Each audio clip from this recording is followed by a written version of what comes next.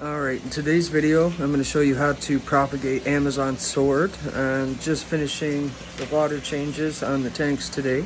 But just give me one minute and I'll show you what we can do. Alright, so when propagating Amazon sword plants, as you can see right there, it looks like a little baby plant.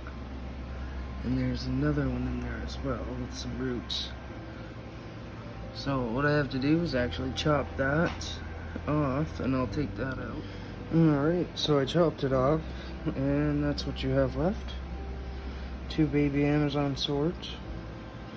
And all you have to do is just chop it off here and chop off the rest of the stem and replant it and you're pretty much good to go. Give me a moment and I'll chop these off and I'll show you what it looks like after. Alright, so there's the leftover stem.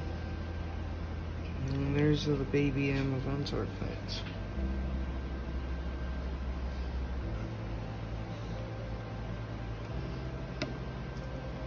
I have to plant these back in the tank now and I'll show you what they look like.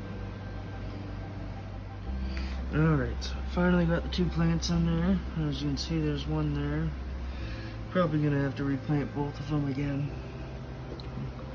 But for right now, it's okay. As you can see, the other ones are kind of taking up the rest of this tank. And all the little shrimp.